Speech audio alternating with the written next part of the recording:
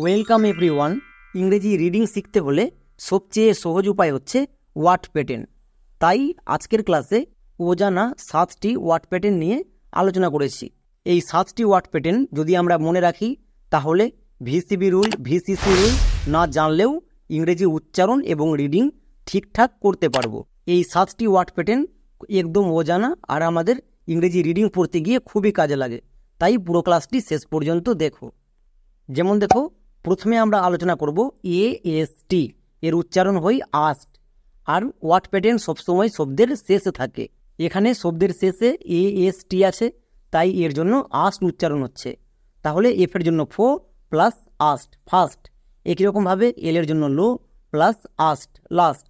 আমরা যদি word pattern মনে রাখি, কোনো রুলস মনে রাখার দরকার নেই। যেমন দেখো পি এর জন্য po plus ast past B L blo plus ast blast G L glo plus ast glast M U S T must এটা হচ্ছে ব্যতিক্রম। এটাকে আমাদের মনে রাখতে হবে। তাহলে মাস্ট হচ্ছে ব্যতিক্রম। চলো এরপরে আমরা নেক্সটে দেখে নেব এ আর ই এটা হচ্ছে এ আর যেমন দেখো ডে আর এখানে শব্দের শেষে এ আর ই আছে। তাই এর জন্য আমরা এ আর উচ্চারণ করব। তাহলে ডি এর জন্য do plus A R day R next এইচের জন্য হো প্লাস এ আর হেয়ার এ আর ই যদি দেখতে পাই, এর জন্য এ আর ইউজ করে দেব। যেমন ডেয়ার হেয়ার নেক্সট আরও দেখো। আর এ আর ই রেয়ার এস টি এর জন্য দন্ত সোয়েটো এটা হচ্ছে কনসোনেন্ট ব্ল্যান্ডিং ওয়ার্ড তাহলে দন্ত সোয়েটো প্লাস এয়ার স্টেয়ার সি এর জন্য co plus air care mo plus air mare এবার আমরা দেখে নেব তিন নম্বর I G H T ight যেমন এনের জন্য দন্তনো plus ight night word pattern সবসময় শব্দের শেষে থাকে।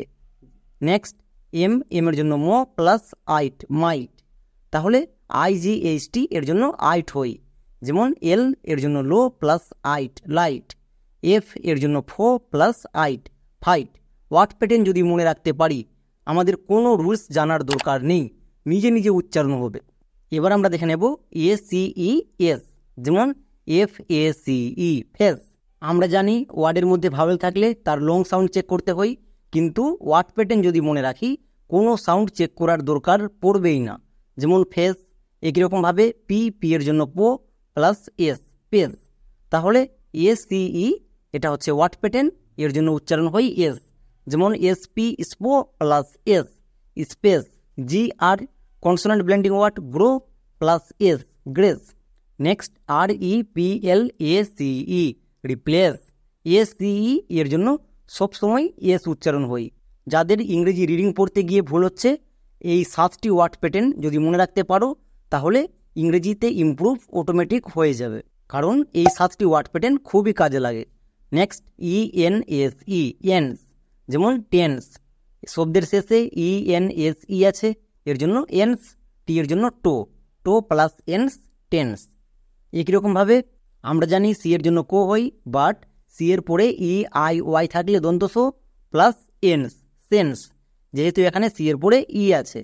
নেক্সট এল এর জন্য lo plus ens lens D D এর জন্য do plus ens dense M M এর জন্য মো প্লাস এনস মেন্স আমরা সবাই জানি ইংরেজি রিডিং পড়তে হলে ভাওয়েলের লং সাউন্ড শর্ট সাউন্ড লাগবেই, কিন্তু ওয়ার্ড প্যাটার্ন মনে রাখলে কোনো কিছু না জানলেও চলবে। নেক্সট ওয়ার্ড প্যাটার্ন দেখো এ এন সি ই আনস একে আবার অনেকে ভুল করে এনস উচ্চারণ করে, কিন্তু এর উচ্চারণ হবে আনস যেমন ডি এর জন্য do plus ance dance A N C E এর জন্য আনস হচ্ছে, তাহলে ডি এর জন্য ডো প্লাস আনস ডান্স একই রকমভাবে A D add V A N C E vance advance আমাদের উচ্চারণটা অটোমেটিক আসছে। তাই তো বলছি ওয়ার্ড প্যাটার্ন খুব গুরুত্বপূর্ণ।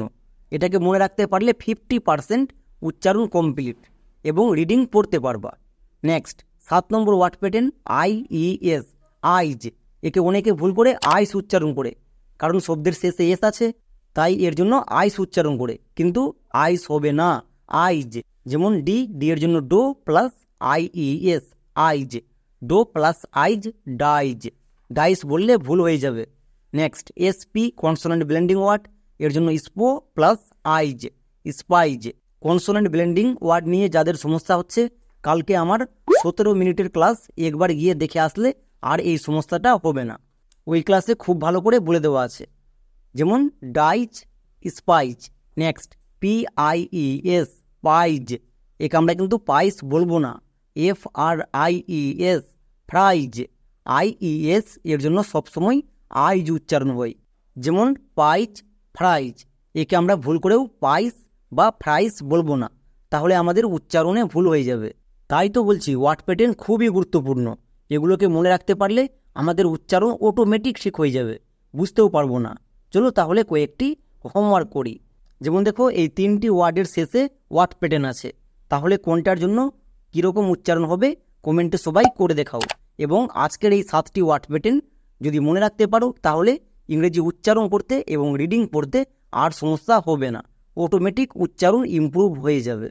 তাহলে আজকের মতো এখানেই। দেখা হচ্ছে নেক্সট ক্লাসে